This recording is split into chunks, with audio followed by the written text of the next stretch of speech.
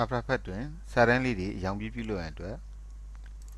စာကြောင်းချောင်းအားရိုက်ပေးပါ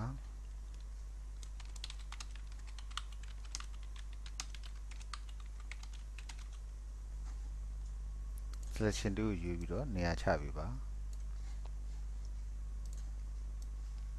stroke color ကိုရွေးပြီးတော့ color stroke လေးရွေးပြီးလိုက်ပါ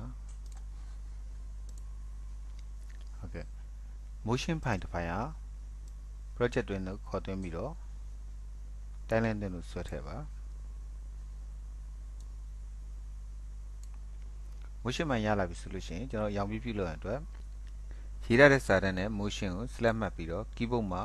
Ctrl Shift C ဖြင့် composition ပေါင်းပေးပါဟုတ် composition ပေါက်လေးပေါ်လာပြီဆိုရင်နာမည်ပေးခြင်းလည်းရပါတယ်နာမည်မပေးခြင်းလို့ရှိရင်လည်း okay ကိုသာနှိပ်ပေးပါဒါဆိုရင် layer တွေပေါင်းသွားပြီဖြစ်ပါတယ်အ ဖက်ထည့်ရန်အတွက် file and preset ပေါက်တွင်းလို့ဝင်ပါ share ပေါက်တွင် NIGHT like RAYS ဝေးဆိုရထည့်ပါဟုတ်ကဲ့တွေ့ပါပြီ CC library pack လေးကိုကလစ်နှစ်ချက်နှိပ်လိုက်ပါ CC library pack လေးဝင်ရောက်လာပြီဆိုလို့ရှိရင်ဒီလိုဆက်ကလေးပုံစံပေါ်လာမှာဖြစ်ပါတယ်အဖက်ကွန်တို့ပေါက်တွင်းမှာလည်း CC library pack ဝင်သွားတာကိုမြင်တွေ့ရမှာဖြစ်ပါတယ်ဒီ center pack လေးကနေဆွဲလိုက်ပါ စာကြောင်းရဲ့အစအလယ်ပိုတက်တက်လောက်မှာချိန်ကြီးပြီးတော့ထားပြပါခု CC library pack လေးကိုမောက်ကူဖီးဆိုပြီးတော့စာကြောင်းပေါ်ဖြတ်ပြေးကြည့်ပါမယ်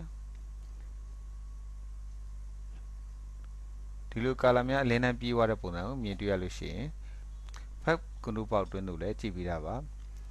ဆန္ဒရှိတဲ့ကိန်းကနန်းလေးကလှုပ်ရှားနေတာကိုမြင်တွေ့ရမှာဖြစ်ပါတယ်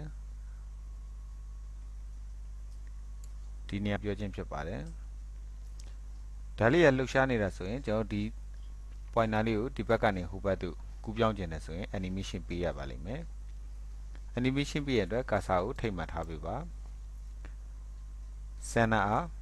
animation ပေးပြီးပါမိမိတို့ကြာခြင်းတဲ့စက္ကန့်လောက်ကိုရွေးလျားပေးတာပါ cursor ကိုဟောကျွန်တော်တို့၄စက္ကန့်မှထားပေးတာပါတယ်